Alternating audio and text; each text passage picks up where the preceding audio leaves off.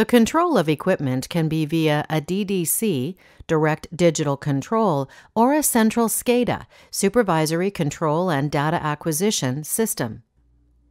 A DDC is a digital controlling device, generally mounted locally on the equipment itself or in the surrounding area if the equipment is remote to the main controlling computer. The DDC provides the operator the capability of configuring and or controlling the unit locally rather than remotely. In this case, using the DDC on the equipment is generally referred to as manual operation of the unit.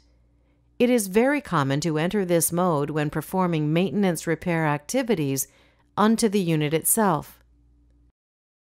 SCADA is another term used for BAS systems where building related equipment can be remotely controlled by a central computer. The SCADA systems provide the operator with the capability to control equipment remotely from a central room where other equipment is also being controlled, and data can be queried and processed for maintenance and troubleshooting purposes. The centralized SCADA, or BAS, is generally used during normal operating hours of the facility.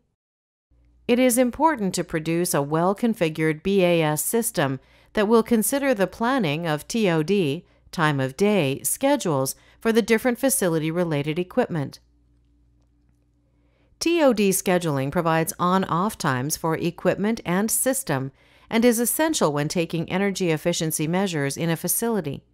This allows the BAS to operate certain equipment at certain times of the day when the equipment is used at its most optimal conditions.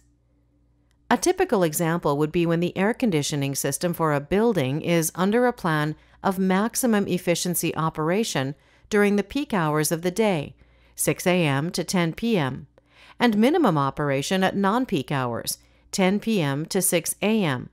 Thus, an effective TOD schedule will control the AC system to meet the demands of the day and utilize the low usage of the night for maximizing energy cost savings activities or measures.